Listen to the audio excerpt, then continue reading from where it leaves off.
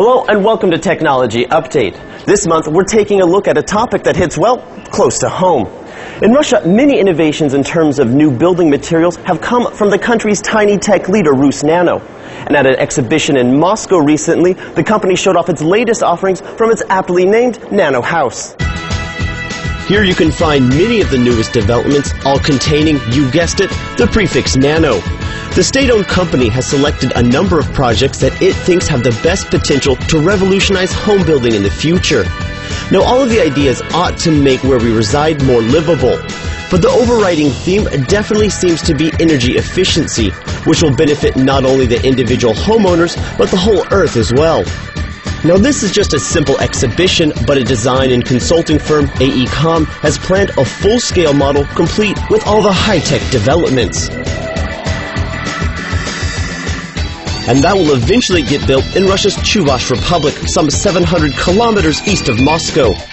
While it may not grab all the headlines, construction materials made from basalt will create the base for everything else in the house. It could find its way into more and more homes in the future, but basalt is nothing new to Russian scientists. The volcanic rock that comes from the hot magma at the center of the Earth is one of the more common resources on the planet. As a result, basalt and its benefits have been on the radar of people in Moscow for more than 50 years. Soviet specialists were definitely the pioneers in creating basalt-based continuous fibers. This work began at the end of the 1940s. Researchers at the Glass Fiber Institute got their first positive results at the beginning of the 1950s, on the basis of which they wrote their first reports. In 1954 there was the first magazine article on the topic. It appeared in the Glass and Ceramics magazine. Western specialists recognized the role of the Soviet Union in this research. Looking at every relevant characteristic, basalt-based fiber outperforms steel. It's significantly stronger and more flexible, which has obvious advantages in construction. It's also lighter, so transporting it is easier and more economical. Additionally, it doesn't degrade when exposed to the elements. Taken together, it's no wonder production of these fibers is on the rise. To start with, quarried basalt rock is first crushed, washed, and loaded into melting baths. Here the stones are liquefied at a temperature of 1,500 degrees Celsius. As the basalt filaments cool, a sizing agent is applied and the filaments are stretched out and eventually spooled. Due to the fact that basalt fibers are made from a single raw material, they're significantly easier to produce than others. What we do, we manufacture composite materials uh, based on different types of fibers, including basalt. Initial fiber there is uh, three times thinner than a uh, person's uh, hair, mm -hmm. so you could see it's a very, very fine, uh, fine product. So um, out of that product, you can make a lot of stuff which is fireproof, which is more energy efficient and very strong. But to get those compound basalt materials, the fibers have to be reworked or pultruded first. The pultrusion process starts with raw fiber being pulled off the racks and guided through a resin bath. The simple resin can be combined with additional mixtures that give the fiber extra desired properties, like enhanced thermal conductivity and fire resistance. Even though the resin makes up only a small fraction of the composite, certain nanoparticles can increase the material's overall strength by up to 25%. Even before us, there were attempts to use basalt fiber to reinforce armature, but we were the only ones that managed to start major industrial production of it.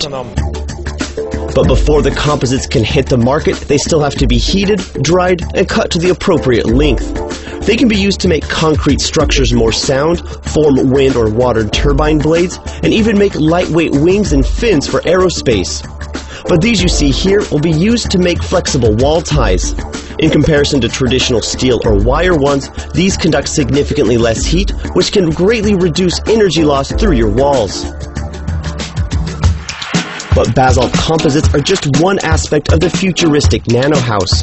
With the help of Russian investment, energy-efficient windows are being developed for the benefit of both your wallet and the environment. Considering that up to 30% of your home's energy flies right out the window, improvements in glass technology can mean big savings.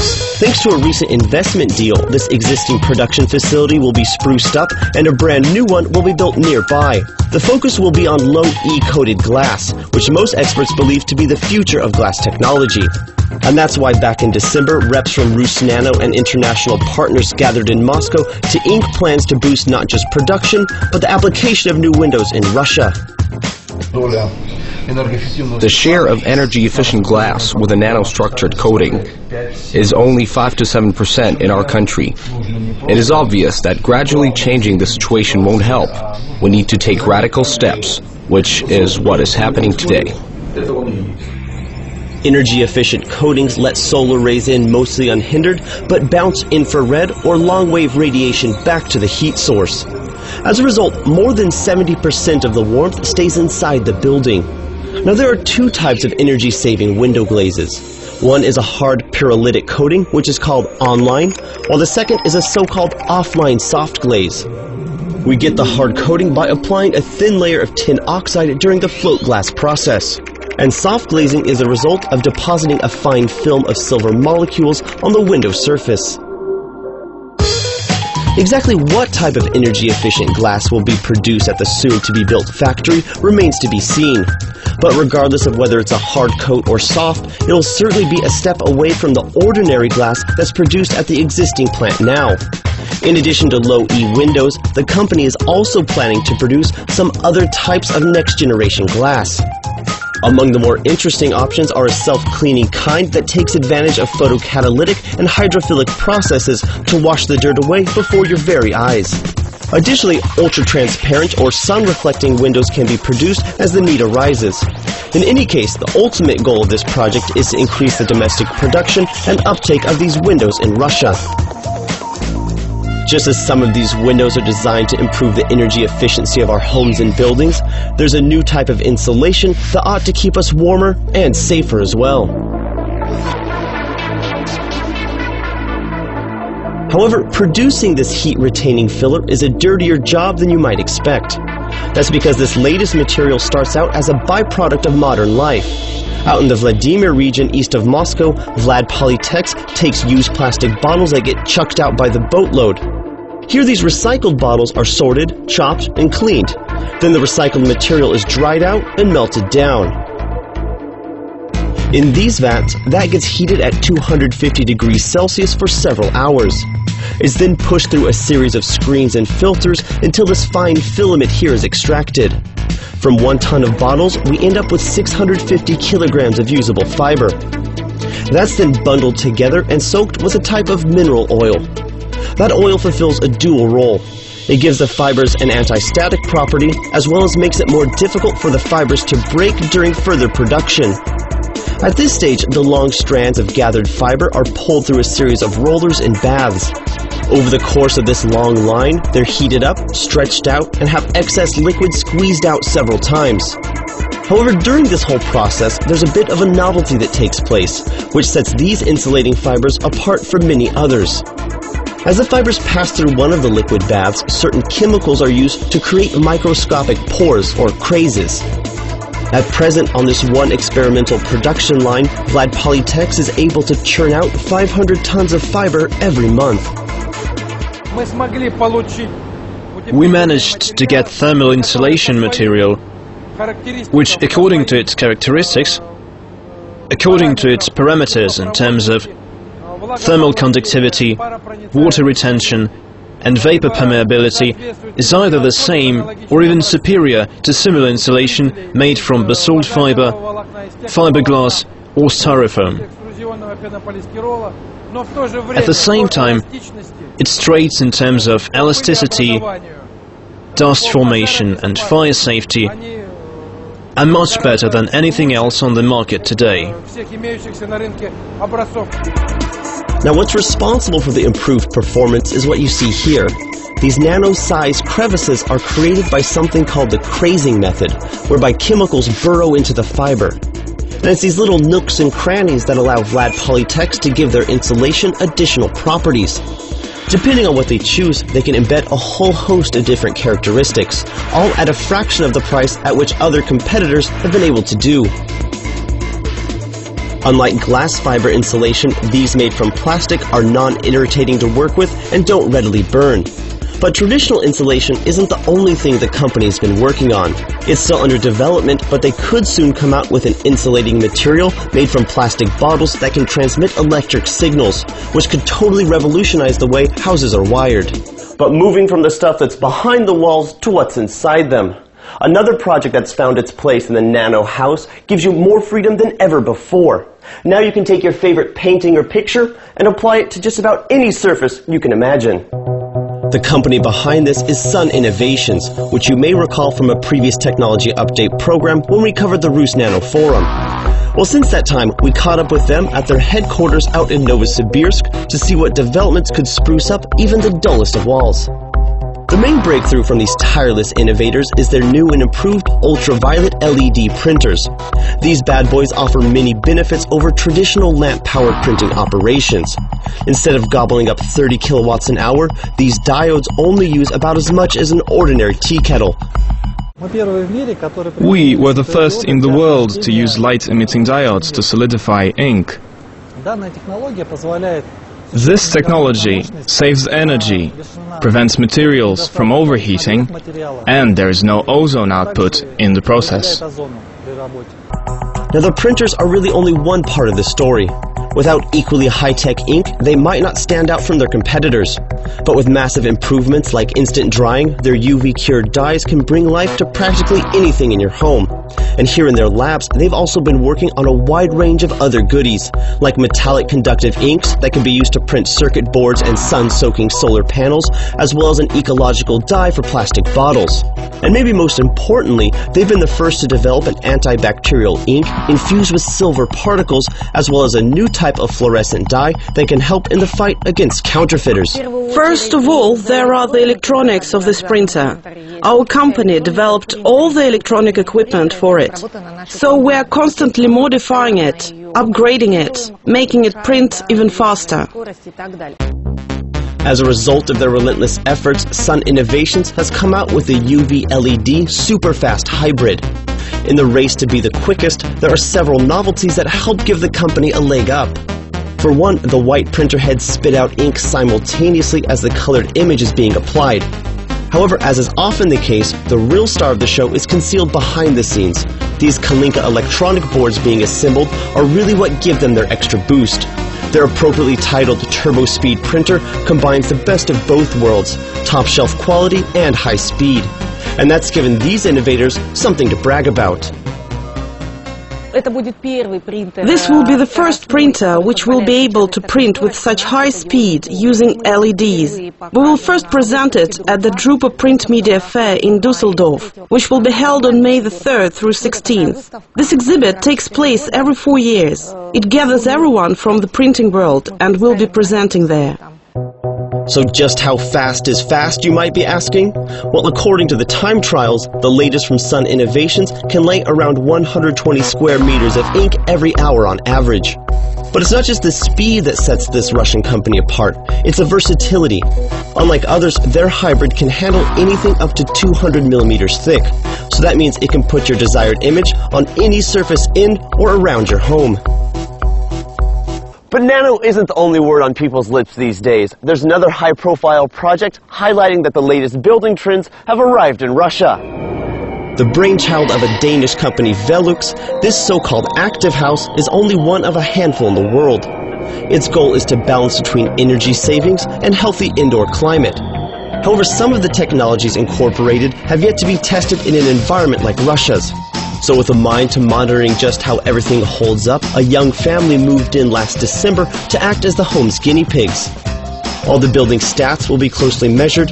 You can even check them online to see just how much energy things like the solar panels are collecting. We tried to draw on the long history of wood construction and took maximum advantage of the new possibilities offered by the latest technologies. So the whole house is made out of wood, the frame, facade and roof. One of the objectives was to let as much sunlight in as possible. So every room is let 10 times more than it is generally required. Even now, with all this snow outside, if you go inside, you will see there's a lot of light. However, given the extreme cold of Russian winters and the plus 30 degrees Celsius weather in the summer, a specialized construction had to be found. That task fell to NLK Domostroenie. Here at their design bureau in Moscow, architects and engineers worked together to find a way to minimize heat losses from the building itself. Sometimes overlooked in the hunt for increasing energy efficiency, so-called thermal bridges can result in serious heat loss. To combat that, they came up with a new, interesting solution. A house must be energy efficient. We calculated that the walls had to be very thick and required a lot of insulation. The insulation layers are arranged in crisscross pattern. You can see here on the blueprint that none of the pieces line up. Therefore, no direct thermal bridges can form. So the wall is highly impermeable. This is an actual size sample of the wall. Here we can see how the house was built. Thanks to this specific wall construction, the house is three times more energy efficient than our technical standards require. In terms of insulation, we were able to make our wall more homogeneous. The paths for thermal bridges are a lot longer now. As air tries to travel from the cold exterior to the warm interior, it has to overcome a lot of obstacles on its way because of the design of the frame. With these walls in the winter, you can keep the whole house warm enough with just a fireplace, even in minus 30 degree weather. But this is more than just a passive house. It takes the fight for energy efficiency right to the environment itself. With the help of a host of intelligent components, it automatically regulates several systems to maximize energy savings and comfort.